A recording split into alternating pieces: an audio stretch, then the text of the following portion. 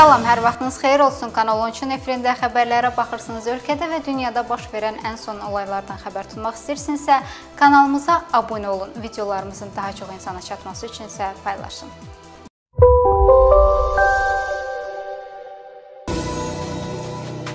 Dünən gecədən bütün mətbuat ehtiyatda olan general-leytenant Rövşən Əkbərovun həbsindən danışır. Onun hansı səbəbdən ittiham olunduğu bəlli deyildi. Lakin APAZ-ın əldə etdiyi məlumata görə məlum olub ki, general-leytenant Ukrayna Respublikasının sorğusu əsasında həbs edilib. Belə ki, Rövşən Əkbərovun Ukraynada qəsdən adam öldürmək cinayətində təqsirləndirilib. Nəsimi rayon məhkəməsində hakim Azər Tağıyevin icraatında Rövşən Əkbərovun Qanun barəsində istintaq orqanının təqdimatına baxılıb və barəsində 4 aylıq həbs qəti imkan tədbiri seçilib. Xəbər verdiyimiz kimi Azərbaycanın milli qəhrəmanı Rövşən Əkbərov barəsində 4 aylıq həbs qəti imkan tədbiri seçilib. Ancaq maraqlı burasındadır ki, Rövşən Əkbərov ailənin tək ali rütbə daşıyıcısı deyilmiş. Sən demə onun kiçik qardaşı Qulam Əkbərov da ali rütbə daşıyırmış. O, Azərbaycanın Avstriyadakı səfirliyində hərbi ataşeyin müavini vəzifəsində çalışır. Onun rütbəsi polkovnik leytenantdır. Diqqətinizə çatdıraq ki, bu cür şəxslər ATƏT yanında səfirliyin əməkdaşı kimi akkreditədən keçir və bütün məlumatlara çıxış olur. ATƏT-ən beynəlxalq təşkilatın bütün iclaslarının iştirakçısı kimi tali yüklü məlumatlara sahib olurlar. Həmçinin bu təşkilatlarda təhlükəsizlik məsələləri üzrə vacib seqmentlərlə yaxından tanışlıq edə bilirlər.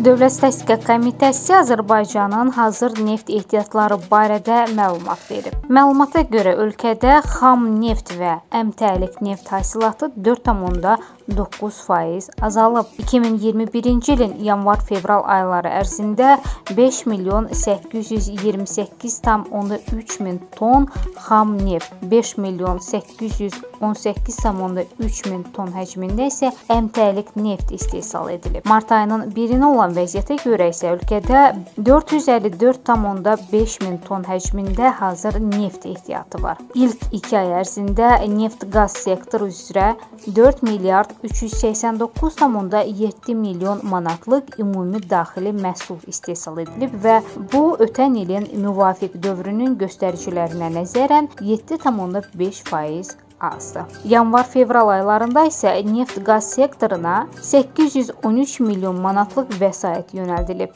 Bu dövr ərzində neft-qaz sektoruna yönəlmiş sərmayələrin həcmi də 13,5% azalıb.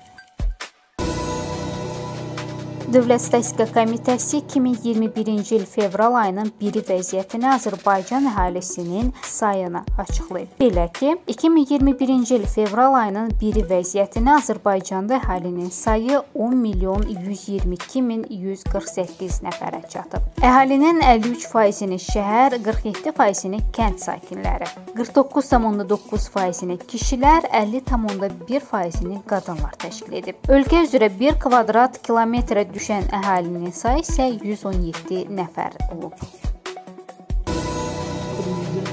Bu gün Milli Məclisin iclasında baş nazir Əli Əsədov hesabat verib. O, pandemiya fonunda 2020-ci ildə dövlətin məşğulluq və sosial rifaha dəstək tədbirləri barədə məlumat verib. Belə ki, pandemiya fonunda məşğulluq və sosial rifaha dəstək tədbirləri ölkənin 4 milyon 800 min nəfərini əhatə edib. Nazirin sözlərinə görə özünü məşğulluq proqramının əhatə dairəsi genişləndirilib. Proqram 12 min 200 işsiz və iş axtaran az təmin təminatlı şəxslər əhatə edib. Məşğulluq və sosial rifahın dəstəklənməsi üzrə 610 milyon manat vəsait xərclənib. Nazir həmçinin əlavə edib ki, 2020-ci ildə pandemiyanın təsirlərinə məruz qalmış sahibkarlar üçün də dəstək göstərilib. Bunun üçün 461 milyon manat vəsait xərclənib. 115 milyon manat həcmində isə vergi güzəştləri tətbiq edilib.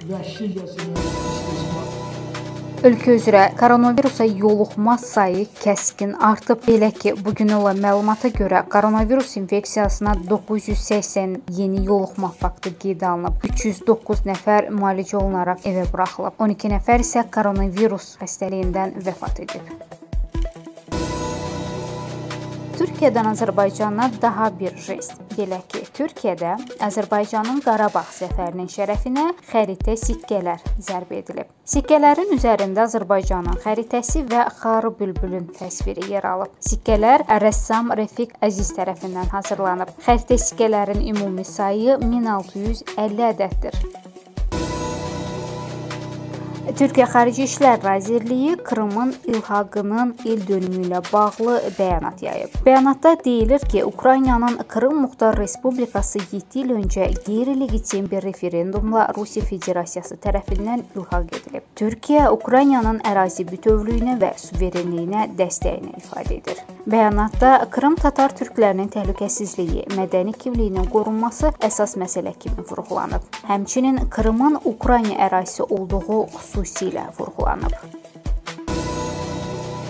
Ermənistanın hakim komandası növbədən kənar parlament seçkilərinin keçirilməsi ilə bağlı son günlər ciddi addımlar atmağa hazırlaşır. Ölkənin Pas qəzeti yazır ki, son 2 gündə Ermənistanın baş naziri Nikol Paşinyan hakim Vətəndaş Razılaşması partiyasının rəhbərliyi, tanınmış siyasi və ictimai xadimlər, vilayət başçıları, Yerevan rayonlarının rəhbərləri ilə görüşlər keçirib. Onları konkret olaraq Paşinyanın reytinqi maraqlandırır. Görüş iştirakçılarına istənilən hadisə hadisəyə, o cümlədən növbədən kənar seçkilərə hazır olmağa tapşırıq verilib. Qəzet eyni zamanda yazıb ki, Nikol Paşinyan martın 23-də istefa verəcək. Fövqəladə hal baş verməzsə, o bu gün yaxud sabah istefa verməyə hazırlaşır deyə qəzet bildirib.